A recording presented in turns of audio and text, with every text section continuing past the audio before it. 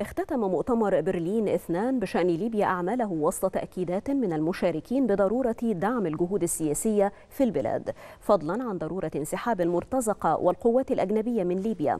وخلال مؤتمر صحفي دعا وزير الخارجية الألماني هايكو ماس لإجراء الانتخابات الليبية في موعدها بالإضافة إلى ضرورة تنفيذ قرار حظر السلاح على ليبيا.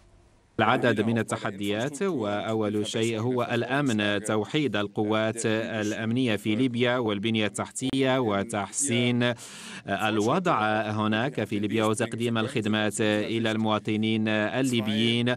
من أجل أن نحرز تقدما ونلبي تطلعات الشعب الليبي ولذلك نريد أن تكون هناك انتخابات في موعدها وأن يكون هناك انسحاب لكل القوات الأجنبية والمرتزقة. هذه هي القضايا التي ناقشناها بشكل مكثف.